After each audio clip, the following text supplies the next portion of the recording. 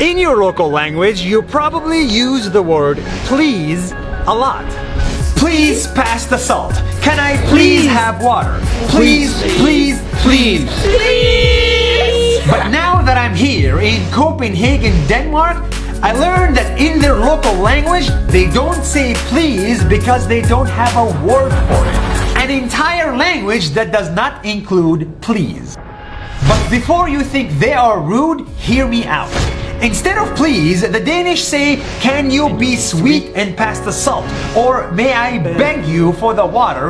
Or they just nod as a way to be friendly when they talk. This experience has taught me that you can say please and be rude, and you can never say please at all and still be friendly like these guys. bede om vand? It's proof that it's not what you say that matters, it's how you say it.